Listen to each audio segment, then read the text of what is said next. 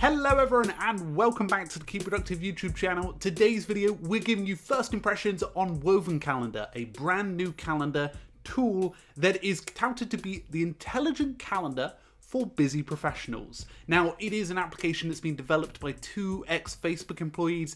One of them, Tim Campos, the CIO, Chief Information Officer for six years at Facebook. So we're going to be diving into this application. It's ranking well on Product Hunt. So let's dive into Woven Calendar in today's video.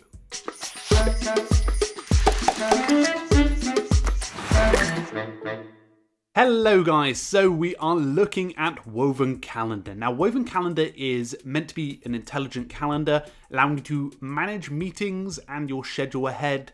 It's got a few map-based features, shared scheduling, it's got an assistant and it touts this intelligent functionality through machine learning. So it seems quite quite an interesting application. Now it's currently free through the beta period, so it's got no pricing to it. It's available through web, which we'll be demoing today, and via the App Store for iOS. Now you're probably wondering what calendars does it connect up with at the moment? Through at the moment, only available through G Suite. It has Office 365 coming soon.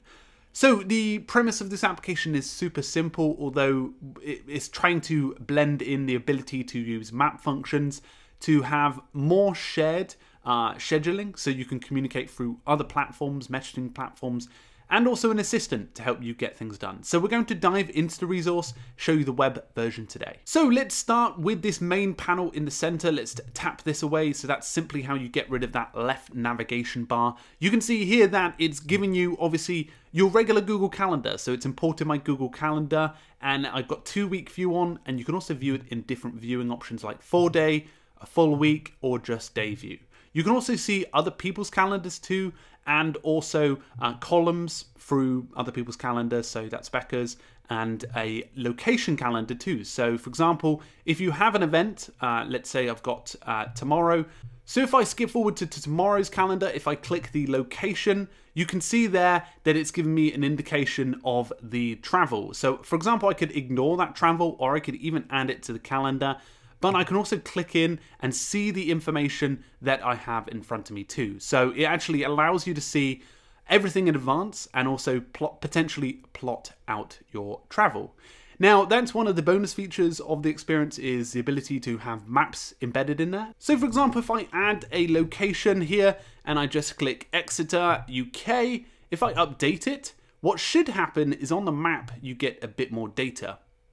Now, as you can see here, you can see the travel time as well as whether you want to add it to your calendar too. So the goal is to make travel a lot easier, and that's great if you've or someone who automatically adds travel information to your calendar. Now that is one of the views inside the experience, but I tend and I probably will just keep it at this viewing option.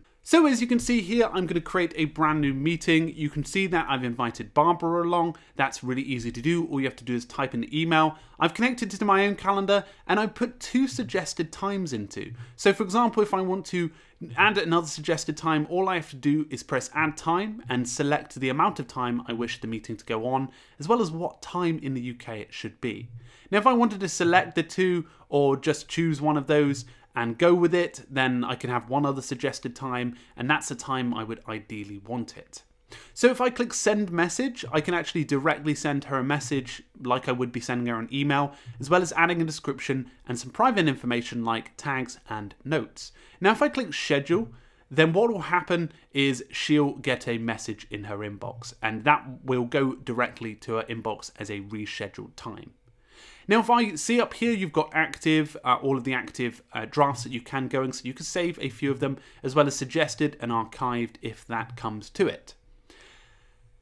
Now, as you can see, this is what the email could be demonstrated like. Uh, this is a welcome message from the bots that they've demonstrated, so you could send a pretty intricate message to other people. So you can collaborate based on location and time, which is quite a nice addition. Now, first time using this, I would say that it's fairly complex to use in terms of adding the details, but I guess the suggested times comes in real handy because I guess when you're looking to find the time on a new schedule, that's something very important. So if I wanted to find a team time, so tomorrow, let's say, then it will give me a few options. As you can see, it's given me the times I'm available and the times I'm not available when I am busy.